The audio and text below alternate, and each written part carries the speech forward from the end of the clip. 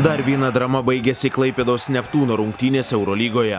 Kazio Moksvyčio auklėtiniai paskutinę spalio dieną savo aikštėje po pratesimo 81-85 nusileido prie Olimpijakos ir patyrė antrą nesėkmę D grupėje. Klaipėdiečiai kilgosios pertraukos prametė visus 11 tolimų metimų ir atsiliko 30-38.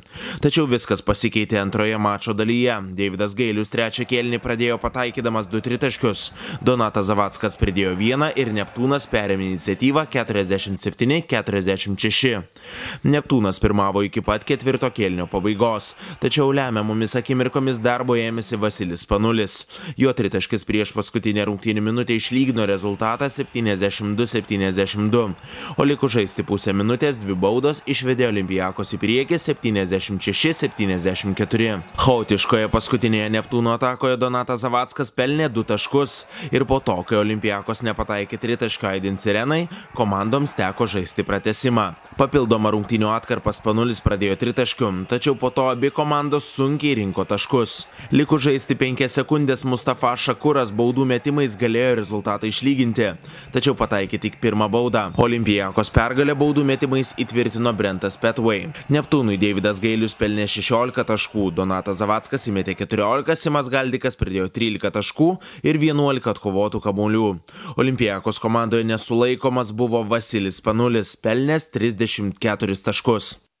Spanulis dar kartą įrodė, kad jis yra aukščiausio lygio žaidėjas.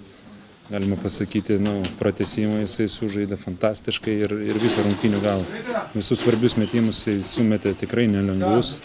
Ir ruošiamės jam ir viską, bet galim tik tai nulenkti prieš į galvą. Mes turim e, daug gerų metikų ir, me, ir mes tengiamės daugiau tai, kaip sakyti, tai išnaudoti, tai užakcentuoti. Nes tokio žaidėjo kaip jisai neturime ir aš nežinau, ar Lietuvoje kada nors iš vis bus toks žaidėjas, kuris gali taip lošti vienas prieš vieną su tokiu metimu, su tokiu pasu, su tokiu aikštės matymu. Taip kad, sakau, mūsų, mūsų yra kitokie prioritetai polime ir, ir manau, sukovojant tikrai garbingai, bet aišku gaila, galėjom laimėti.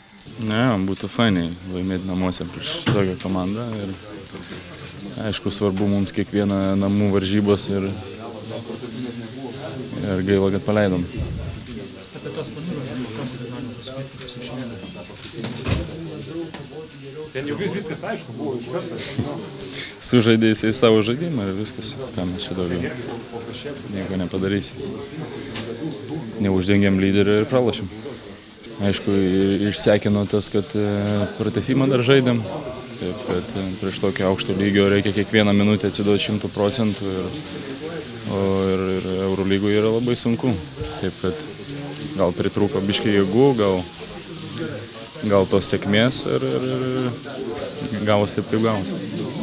Nu ką, nuotaikos liūdnas yra ir, ir, ir, ir, ir mes tikimės, kad reikia atsigauti, nes toj poryt laukia vėl naujos sunkios varžybos su žalgeriu. Ir, ir čia yra mums labai svarbu, kadangi mes jau du taškus esam praradę. Paskutinės varžybos nuo Lietuvos ryto pralošėm, tai reikia dėti visas jėgas, oi, vieną tašką praradė, meluoju, reikia dėti visas, visas e, jėgas, kad laimėtumėm sekantį, sekantį grajų. Iki šiol pačiam teko daugiau kovos su aukštesniais žaidėjais. Ar laukia, kad jau atvyks nuo kitos savaitės naujas vidurio polėjas ir galbūt lengviau ir pačiam truputėlį bus? Nežinau, atvyks patikrinsi. Va, su Dimša. Ir man tai kažkaip, nu, smagu tikiuosi, kad padės mums, kad pasijungs, nes vis tiek pavargsti, toks kai yra aukštas lygis, sunku vis tiek yra kovoti, daug fizinių jėgų, traumas dar be to visą kitą. Nu, tikėkime, viskas įeis tik į gerą. Asmeninis šiandien pasirodymas dvigubas dublis. Ar galima sakyti, kad įpratai prie to lygio, kuris Eurolygoje žaidžiamas? Net nežinojau, kad dvigubas dublis. nu ką čia įpratai, nežinau, eini kovo ir viskas. Ten aš ten net nežinau ne vienos tos žvaigždės man.